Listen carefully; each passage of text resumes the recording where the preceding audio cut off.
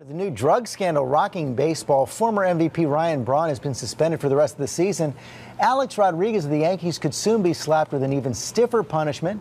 And ABC's Paula Faris has more on what this means for the game's biggest stars. Ryan Braun may be just the first to fall from grace. I hope that Ryan Braun is forever remembered as the most despicable liar in the history of baseball. Sources tell ABC's sister network ESPN that Yankees third baseman Alex Rodriguez is among roughly 20 major leaguers who may soon face suspension.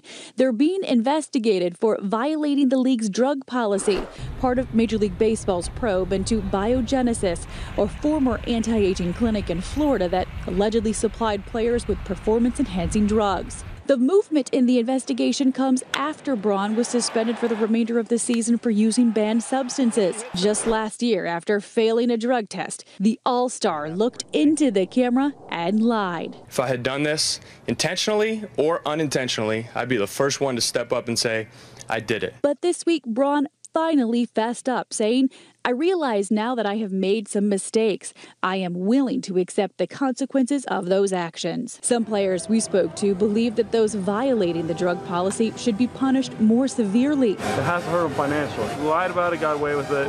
We tried to lie about it again, got caught and still making a hundred and some odd million dollars. If A Rod is found guilty, both the punishment and the backlash could be even worse because, according to ESPN, Major League Baseball allegedly has even more evidence against him than they did Braun. They want to know did he actually tamper with witnesses? Did he try to have any documents destroyed?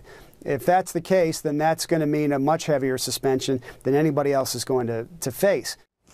And when it comes to A-Rod, ESPN using the words lifetime ban, that's just how much evidence the league has on him. But there's a chance he could accept a plea deal, which he denied as recently as last week in Georgia. Sources close to the situation tell me Major League Baseball in the final stages of their investigation for everyone involved. Many more chips to fall. Okay, Paul, thanks very much. This could be huge.